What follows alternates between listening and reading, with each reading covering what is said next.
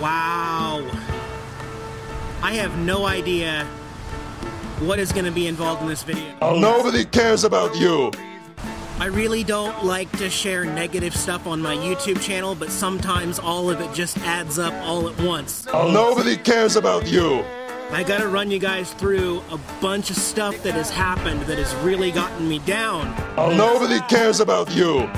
Well, one of the supervisors said that she accidentally punched my driver's license, making it expired or invalid. And I gasped when she did it. I'm like, no! Oh my gosh! Nobody cares about you. Okay, fine. Well, I waited around 30 days after that. Nobody knows this except me and my buddy monitoring my uh, post office box back home. Anyway, 30 days pass, and according to the little receipt, that's when you can go. That's when you can legally go back in and say, "Look, you guys didn't mail it."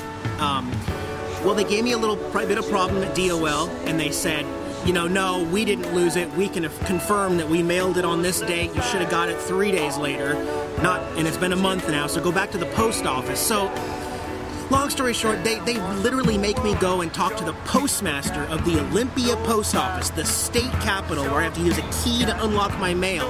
Oh, nobody cares about you. It's in like 30 days. I crap you not. I did not get it within 30 days again. Oh, nobody cares about you.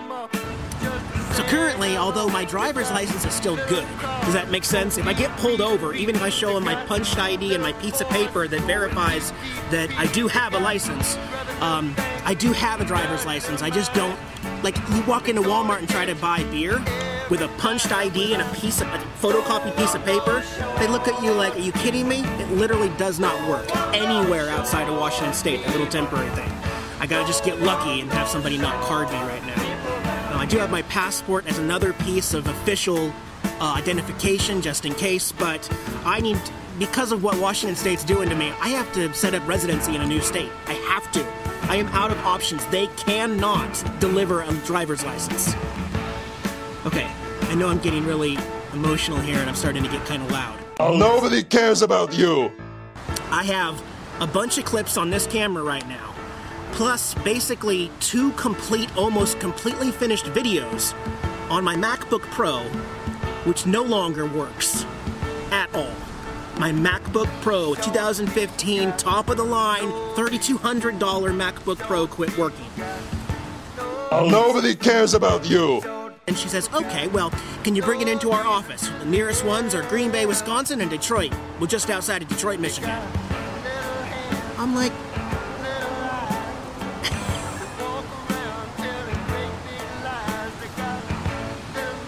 Oh. Nobody cares about you.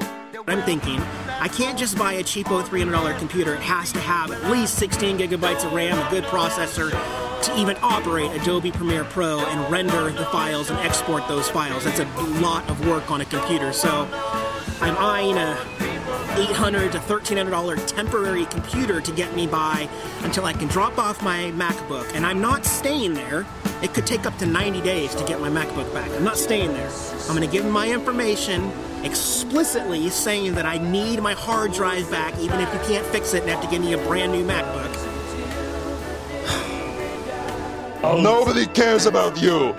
So I was getting ready to leave about an hour ago. And Billy, I'm not like worried or concerned or anything. I'm just monitoring what's going on. Um, the RV didn't sound right, and it's been three days since I fired it up. I didn't let it run very long because it sounds like there's a problem. Oh, nobody cares about you. I do need to add one more thing just for reference for all those professional mechanics out there who always like to comment on my video and tell me, it's obviously this, I know it without 100% of the, you know, and it's like, dude, I already shared that and talked with you and told the world that I got it fixed. So the codes I have for them, P0171, Fuel Trim System Lean Bank 1, P0174, Fuel Trim System Lean Bank 2, P0430, Catalyst System Low Efficiency Bank 2, and P1351, Ignition Control Module Circuit High Voltage. What I have done in the last less than a year to try to resolve this one fuel delivery problem. This is all, all the stuff. Plugs, rotor, distributor, cap, wires, 10,000 miles ago. New battery, new solenoid, new ignition control module 5,000 miles ago. Crank position sensor 5,000 miles ago. Mass airflow 5,000 miles ago. New catalytic converter 20,000 miles ago. Uh, fresh oil, air filter, and a fuel filter 3,000 miles ago, and every other 3,000 miles since and fuel pump 20,000 miles ago or a year ago. Although you're still going to have professional mechanics write in the comments below and tell me one of those things is the obvious issue and I'm stupid because I haven't done it yet. Nobody cares about you. At some point, got to park the RV, tear apart the engine, and replace all of those injectors and everything and put it back together. That's fine. I don't mind. I never complained about it. I knew it had to get done.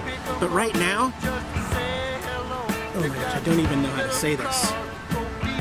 I visited five repair shops here in Marquette.